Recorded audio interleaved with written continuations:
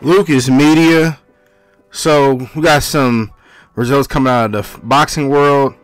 That is Deontay the Bronze Bomber Wilder versus uh, Zing, and Wilder ended up getting KO'd. Unfortunately, um, starting from the beginning of the fight, I could tell Wilder was a little. I don't know. You can tell Father Time it then caught up with him. You know, he 39 years old. I honestly thought he was gonna win. I wanted to see Wilder get another belt, but but tonight is more than likely the last dance for him. And you know, I I want to sit here and I want to thank the brother Deontay Wilder. I might have a lot of people in my in my comment section talking about he was this and he was that, but the the sad part is he was the last great American heavyweight that we had. We never for this generation never really appreciated the fighters that they had and I know 10 years from now people will give him his flowers and people will regret the fact that they didn't get it they didn't appreciate him while he was here. I know Wilder's going to end up being a first ballot Hall of Famer. I mean, it's not even undisputed. The man had what 10 heavyweight title defenses. He was the longest heavyweight uh heavyweight champion.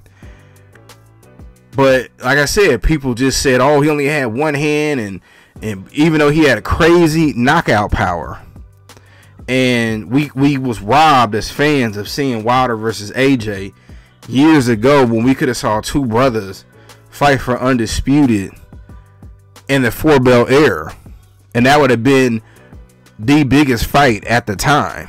You know, we were all robbed of that.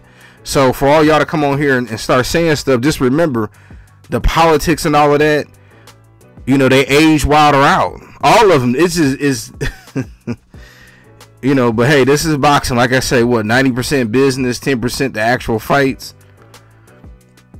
But you know, I'm proud of Champ. I'll say it again, multi-millionaire.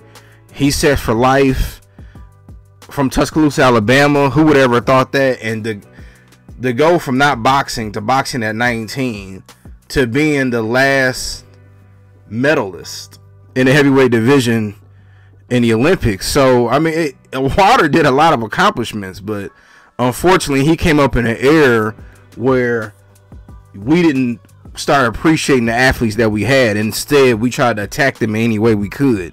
Wilder should be up there with LeBron as far as popularity and earn income again because we all know that the American heavyweights was they're the ones who who used to move boxing.